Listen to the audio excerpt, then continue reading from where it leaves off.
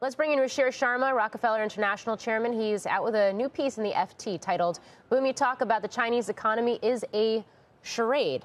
Uh, Ruchir, great to have you back on the show. One of the things you write in this column is that there's never been a bigger disconnect in your experience between some of the rosier investment views or investment bank views on China and the dim reality on the ground. Why is that? What are you seeing? Well, I think we're all feeling it as investors that if you look at Chinese stocks, they're down 15% from the highs they hit this year. Some of the more consumer oriented stocks are down 25%. And I know people will say that the stock market is not always the economy. But if you really look at the historical relationship, what we find is that if the Chinese economy was indeed growing at even 5%, which is the official growth target, and you've got Wall Street investment banks talking about 5 6% economic growth, then in the first quarter of this year, we should have seen corporate revenues of Chinese companies increase by about 8% or so. Instead, what the results showed was that the revenues of Chinese companies grew by 1.5%. That's a huge disconnect. And I think that that's what we're finding in commentary after commentary from Chinese companies, which is that they're just not showing the kind of revenue or profit growth that would be in sync with an economy that is being described by some Wall Street economists as feeling boomy based on the macro data mm-hmm. that the government is releasing there. Yeah. I mean, you can, you can say, you can point to copper prices too, which are at a five month plus low right now, as we have seen this choppiness to this reopening in that country. How much of this is domestically fueled? the weakness in this reopening and what it's doing to economic growth in China, and how much of it is geopolitically fueled, given this disentangling, uh, at least to a certain extent, between the U.S. and China, where things like trade are concerned?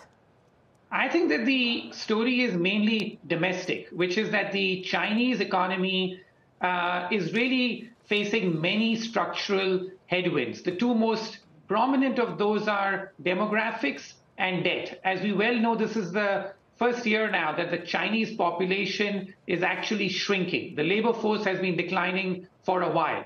There is no country in economic history that has grown rapidly with a shrinking labor force. This just never happened. So, um, in fact, our research shows that no economy has grown above 2% when the labor force has been shrinking. So that's exhibit A. The second point has to do with debt. And this is where I think that all these expectations that the Chinese economy will uh, grow rapidly and there'll be a lot of stimulus that the government will do. I think the Chinese government knows that it is heavily indebted, that its local governments are running out of cash, and therefore it's been quite reluctant to roll out any big stimulus even through the pandemic.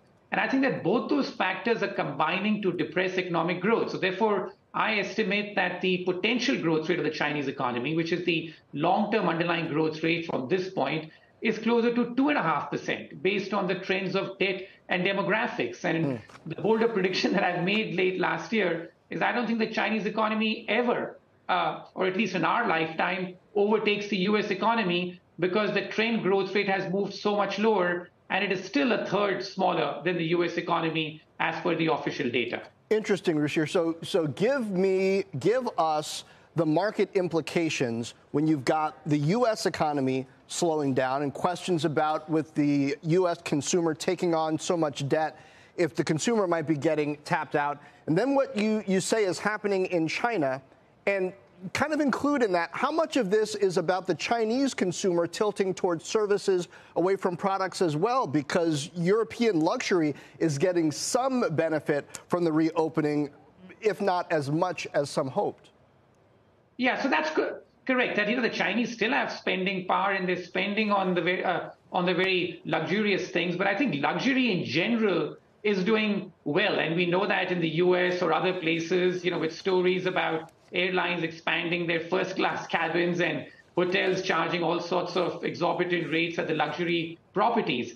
But I think that the broader story here is that uh, the Chinese consumer, by some metrics that I quote in the article, is three times more indebted than the US consumer. If you just look at uh, the debt burden as a share of their disposable income. So uh, both the Chinese uh, consumer and the government there is quite heavily indebted, even compared to the United States, where you point out that the consumer is slowing down a bit, but the consumer finances in the US are in a better shape than the Chinese uh, consumer finances.